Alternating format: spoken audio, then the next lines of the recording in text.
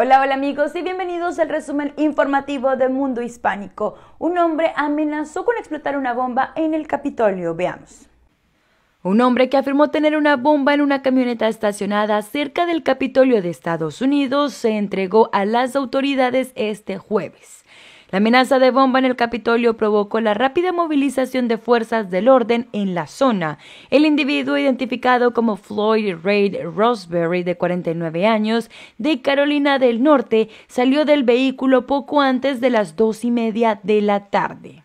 Floyd grabó una serie de videos desde la camioneta estacionada enfrente del Capitolio y en ellos pidió al presidente Joe Biden que enviará a alguien para hablar con él, además de pedir ataques contra los talibanes en Afganistán. Tropas se quedarán en Afganistán hasta sacar a todos los estadounidenses, así lo afirmó el presidente Joe Biden.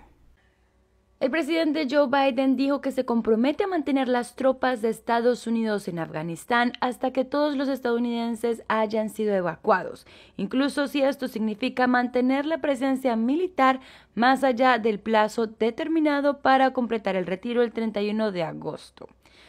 Biden rechazó las críticas de que Estados Unidos debió hacer más que planear la salida del país, la cual se vio envuelta por violencia y caos cuando miles intentaron huir mientras el talibán avanzaba.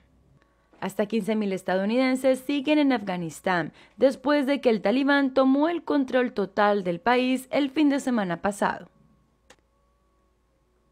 El huracán Grace arremete contra el Caribe en México y desgarra fuertes lluvias.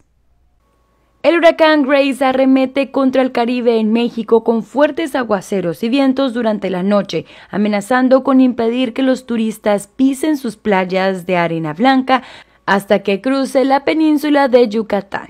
El estado de Quintana Roo abrió refugios y evacuó algunos hoteles y residentes antes de la llegada de Grace. Cozumel, un destino popular de cruceros y moderno de Tulum, estaba en trayectoria del huracán.